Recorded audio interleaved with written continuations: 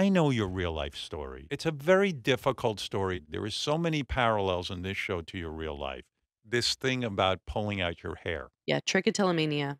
You're so open and honest, but yet you were embarrassed that you had this. When I was 13, I pulled out so much hair that I needed to get a wig and Wow. wear it, wear a wig to school. And it was it was humiliating and it was um it was really hard. Is it humiliating because you know you should stop doing it? It was like just feeling like you're deformed, you know, like feeling feeling ugly and unlovable and um and and having big bald spots. I mean, it was like getting Did ready for school every day. You know, I ate my lunch in the nurse's office because because people like were like I heard someone say like that, that I made them sick.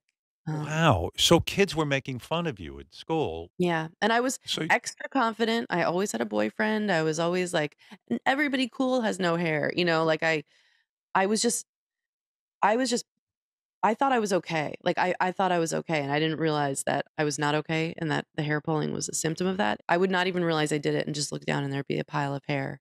were you so invisible to your parents that they didn't really address the situation? They did. They were no, it was my mom was especially like just horrified and upset by it. I she would help me do my hair before school every morning, and she would be crying while she helped me with my hair. Oh my Yeah, God, this is like a major thing that you've major. Concealed major. I'm getting choked up. I'm getting I'm getting emotional.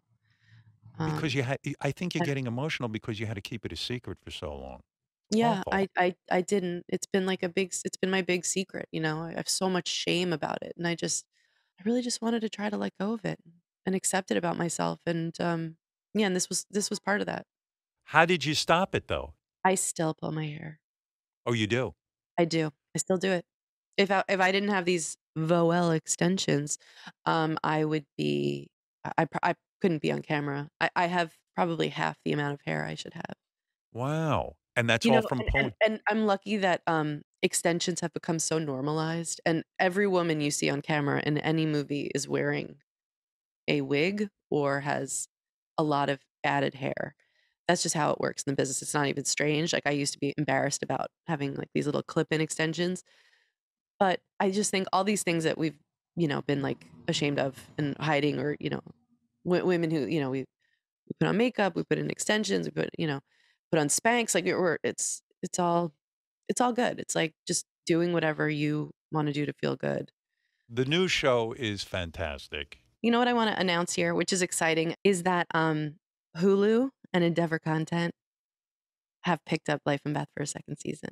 All Excellent. I'm happy to hear that. When'd you get the news? Honestly, I just got a text right now. Look at you, texting and talking at the same time. I'm Well, very it my impressed. agent. That's It was my busy. agent. Yes. I I I really wanted to I really wanted to share that news on here, you know? I mean, what could Love be it. bigger? Yeah.